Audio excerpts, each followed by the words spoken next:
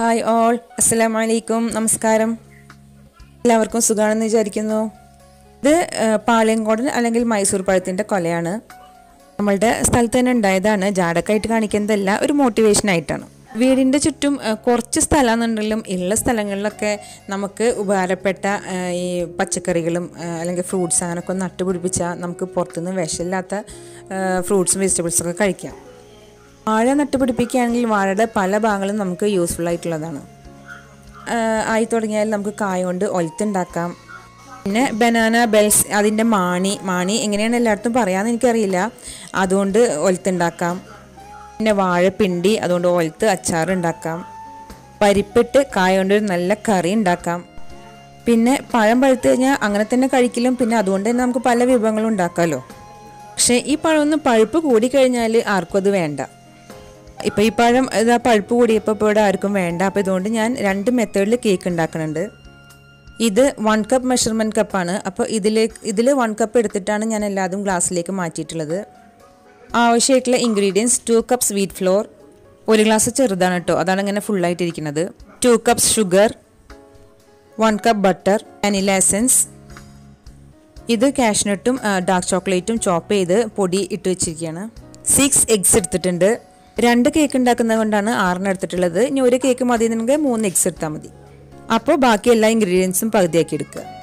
രണ്ട് കേക്കിന്റെ അളവിന് പന്ത്രണ്ട് പാളയും പാളയംകോടൻ അല്ലെങ്കിൽ മൈസൂർ പഴം എടുത്തിട്ടുണ്ട്. ഒരു കേക്ക് ഉണ്ടാക്കാനെന്നുണ്ടെങ്കിൽ ആറെണ്ണം എടുത്താൽ മതിയാകും. അപ്പോൾ മനസ്സിലായല്ലോ എടുത്തതിന്റെ പകുതി. അപ്പോൾ ഇനി നമുക്ക് പഴം മാഷ് ചെയ്തെടുക്കാം.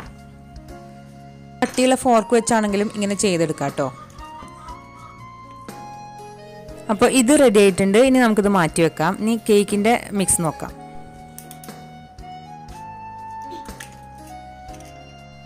എഗ്ഗെല്ലാം പൊട്ടിച്ചൊഴിച്ചു. ഇനി നമുക്കിത് ബീറ്റ് ചെയ്യാം.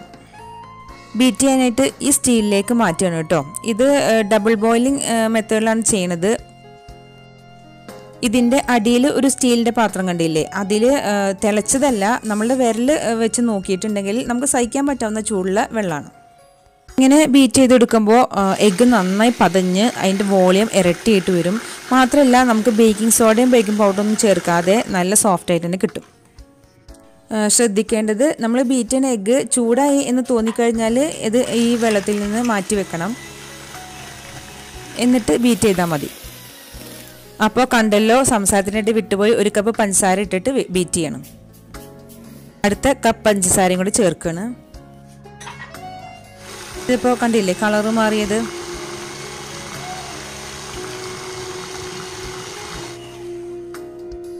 എഗ്ഗ് ബീറ്റ് ചെയ്ത് വലിയൊരു ബൗളിലേക്ക് മാറ്റി. ഇനി നമുക്ക് പൊടി ഇടാം. പൊടി ഇതുപോലെ ഇനിയിപ്പോൾ അരിപ്പയിലൂടെ എല്ലാം ഇട്ട് ഇളക്കുമ്പോഴാണ് എല്ലായിടത്തും മിക്സായി കിട്ടുക. അതല്ലെങ്കിൽ നമ്മൾ പെട്ടെന്ന് ഒരു സ്പൂൺ വെച്ചിട്ട് അല്ലെങ്കിൽ ഒന്നിച്ച് ചേർക്കുമ്പോൾ അത് കട്ട് കൂടിയിട്ട് എല്ലായിടത്തും മിക്സ് ആവില്ല. മിക്സ് ചെയ്യുമ്പോൾ കട്ട് ആൻഡ് ഫോൾഡ് മെത്തേഡാണ് ചെയ്യുക അതായത് ഇളക്കി നടുവിലൂടെ ഒന്ന് കട്ട് ചെയ്ത് പിന്നെയും അങ്ങനെ ഇളക്കുക. അപ്പോൾ എയറും ഇൻകോപ്പറേറ്റഡ് ആവും. പൊടിയും ബാക്കി ഇൻഗ്രീഡിയൻസ് എല്ലാം കുറേശ്ശെ ഇടയ്ക്കിടയ്ക്കായിട്ട് ഇളക്കി ചേർക്കുക. ഇനി മാഷ് ചെയ്ത പഴം കുറേശ്ശെ ചേർത്ത് ഇളക്കാം.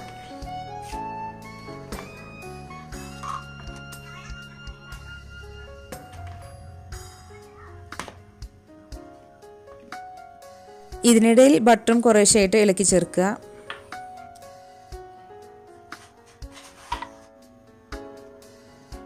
കാഷ്നട്ടും ഡാർക്ക് ചോക്ലേറ്റും ചേർക്കുക. ഇത് കാര്യമായിട്ട് അങ്ങോട്ട് മിക്സ് ചെയ്യണ്ട. കാരണം നമ്മൾ കേക്ക് ടിന്നിലേക്ക് ഒഴിക്കുമ്പോൾ തന്നെ അത് ചേർന്നോളും. രണ്ട് കേക്ക് ടിൻ ഞാൻ പാർച്ച്മെന്റ് പേപ്പർ ഒക്കെ ശരിയാക്കി വെച്ചിട്ടുണ്ട്. ഈ ടിൻ കുക്കറിൽ വെച്ച് ബേക്ക് ചെയ്യാനുള്ളതാണ്. അടുത്തത് ഇതാ ഇത് സ്റ്റീലിന്റെയാണ്. ഇത് സ്റ്റീം ചെയ്തെടുക്കാനായിട്ടാണ്. രണ്ട് ടിന്നും ടാപ്പ് ചെയ്യണം. കുക്കർ നന്നായി ചൂടായിട്ടുണ്ട്. അതിലിത് ഒരു തട്ട് വെച്ചിട്ടുണ്ട്. അതിന്റെ മുകളിലേക്കാണ് ടിന്ന് വെക്കണത്. പിന്നെ മൂടിയുമേ ഗ്യാസ്കറ്റ് വെക്കണ്ട. ഇനി സ്റ്റീം ചെയ്യണത് നോക്കാം. ഇത് ഇഡ്ഡലി തട്ടാണ്. ഇതുപോലെ രണ്ട് തട്ടുള്ളതാണെന്നുണ്ടെങ്കിലാണ് നല്ലത്. ഇതും നന്നായി ചൂടായിരിക്കുകയാണ് ഇതാ മുകളിലെ തട്ടിലിങ്ങനെ വെക്കുമ്പോൾ ആവി വെള്ളം ഉള്ളിൽ കയറില്ല. പിന്നെ മൂടിയിടുമ്പോൾ ഇതാ ഒരു തുണി വെച്ചിട്ട് മൂടിയിടണം. അപ്പോൾ ആവിവെള്ളമൊക്കെ ആ ആ തുണിയിൽ പൊയ്ക്കോളും. ഉള്ളിലേക്ക് ഒട്ടും വെള്ളാവില്ല.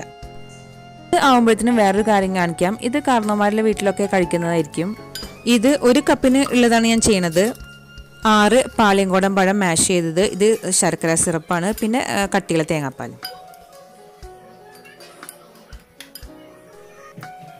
ഇതാ പൊരിയാണ്. പഴം ചേർത്ത് കപ്പിലേക്ക്. ഇനി നല്ല കട്ടിയുള്ള പാ തേങ്ങാപ്പാൽ ഒഴിക്കുകയാണ്. ഇതിന്റെ മുകളിലേക്കാണ് പൊരി ഇടുന്നത് ശർക്കര സിറപ്പ് ഒഴിക്കുകയാണ്. ഇപ്പോൾ പൊരിക്ക് പകരം കോൺഫ്ലെക്സ് ഇടാം. അല്ലെങ്കിൽ നമ്മൾ അവിൽ ചേർക്കാം കേട്ടോ.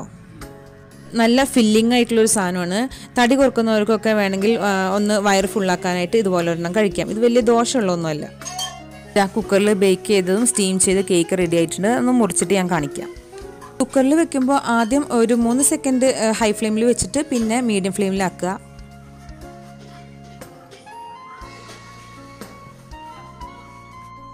മീഡിയം ഫ്ലെയിമിൽ ഒരു പതിനഞ്ച് ഇരുപത് മിനിറ്റ് ഇരുന്നതിന് ശേഷം സ്ക്യൂർ കൊണ്ട് ഒന്ന് കുത്തി നോക്കി വെന്തെന്ന് കണ്ടാൽ സിമ്മിലാക്കുക പിന്നെ അരികൊക്കെ ഒന്ന് ബ്രൗൺ കളർ ആയിട്ടുണ്ടെങ്കിൽ നമുക്ക് എടുത്തു വെക്കാം.